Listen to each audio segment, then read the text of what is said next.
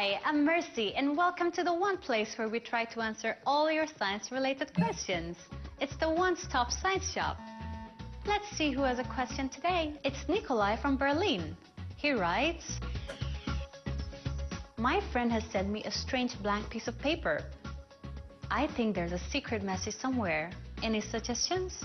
I think I know what's going on here, Nikolai. I'm gonna help you decode your secret message, especially with a chemical reaction.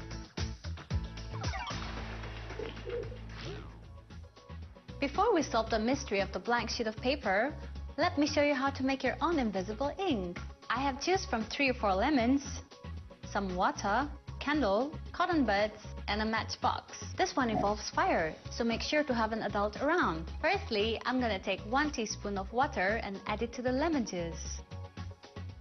Mix it well. Now using the cotton swab as my pen, I'm gonna write my secret message.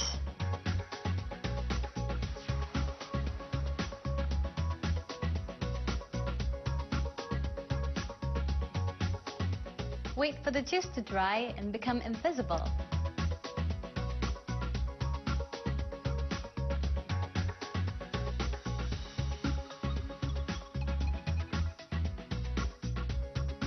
How can you read the secret message? It's just a blank sheet of paper. I'm gonna light my candle and bring my secret message close to the candle slowly. Make sure there is a good distance between the flame and the paper. As the heat touches the paper, the letters start appearing. And here's my secret message. I love One Stop Science Shop. Lemon juice is a mild acid. When poured on paper, it remains absorbed even after drying. When one holds the paper close to heat, like a candle or a lamp, the acid will show up again by turning brown. This process is called oxidation, which is a good example of a chemical reaction. I hope Nikolai can now decode this message. To try this at home for yourself, have a look at what you need. Lemon juice, some water, candle, cotton swabs, matches, paper. Now that you know the secret, I wonder who you're gonna send your secret messages to. Oh, I think someone got my secret message. Let's find out who.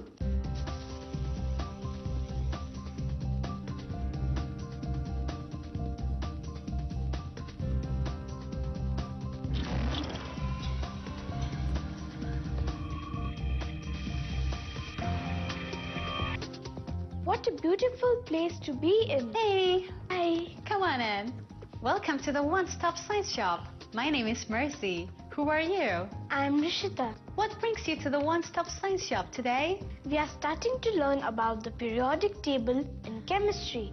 I wanted to learn a little of its history and origin. The periodic table is the very basis of chemistry. It's really complicated and I have enough trouble remembering all my mathematic tables. I can imagine. But I think I can help you with your table phobia. Why don't we have a look at one of the most organized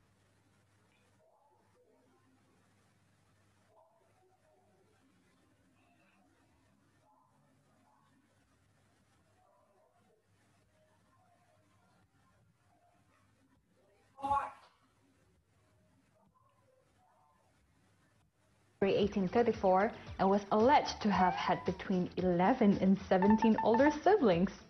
The exact number is historically uncertain, but whatever it was, that's a lot of beds. Mendeleev was a promising student. By the age of 20, despite suffering from tuberculosis, he had started publishing original research papers.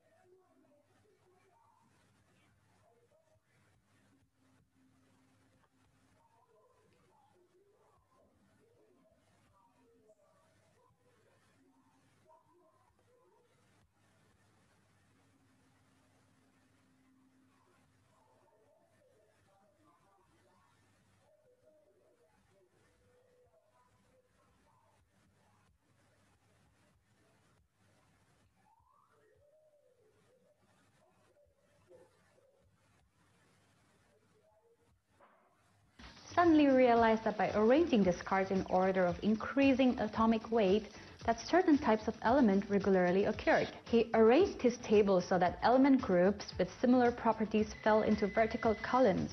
He also left gaps where he predicted as yet undiscovered elements could be expected to find their place. Over the next two decades, his periodic table gradually gained acceptance and most of his predictions regarding missing elements were proved correct when they were discovered through scientific research and experimentation. He received a multitude of honorary awards for his discoveries. Mendeleev died in February 1907. At his funeral in St. Petersburg, his students escorted him on his final journey, carrying copies of the periodic table of elements as a tribute to his incredible life's work. So it's high time we take our dreams seriously. It sure worked for Mendeleev. Mercy, can I ask you what exactly an atomic mass is? Atoms are made of three subparticles, electrons, protons, and neutrons. Atomic mass is the collective sum of all the three. I've got a great fact for you connected to Mendeleev's periodic table. Which element is Argentina named after? Okay, I give in. It is named after element silver known as argentum in Latin. I never knew that. Thanks for telling me. Now, elements like silver are chemical substances, and they can occur naturally or are man-made. When a chemical substance changes into a new one, it's called a chemical reaction. Are you interested in watching one chemical reaction? Here? Now? Yes, right here and right now. Okay. Do you want to see what's inside our one-stop science box? Yes. First of all, we'll lay out the um, maps. Nothing. Okay, here you go. Some flour, 6 cups of flour, some salt, 2 cups of salt, some water, that's 2 cups of warm water. The good soap. Here you go. What's this? That's vinegar.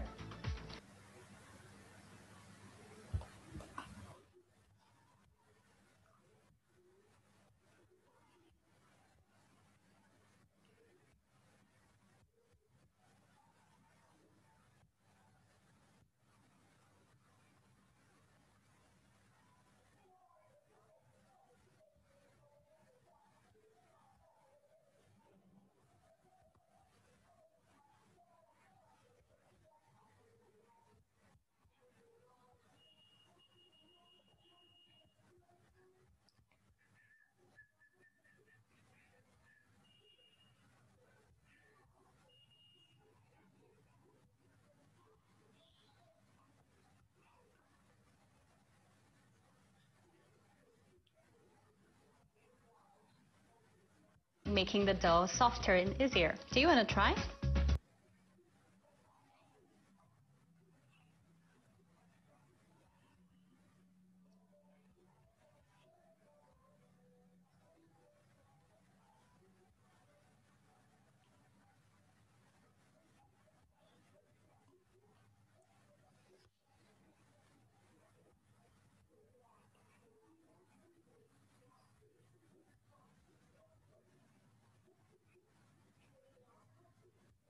Dry. I think our volcano is ready. What you didn't know was there was a dormant volcano lying under the mountain. Wow! What will happen if it becomes active? Let's find out. We're gonna take the baking powder, put coloring, about one teaspoon. You can put in any color, and about six drops of liquid salt. We're gonna mix vinegar and red food coloring in this beaker. Again, you can use any color you like, roughly a cup of vinegar. Now, watch the volcano erupt. Rishita, are you excited? Three, two, one, Let's do it. Come. Ooh.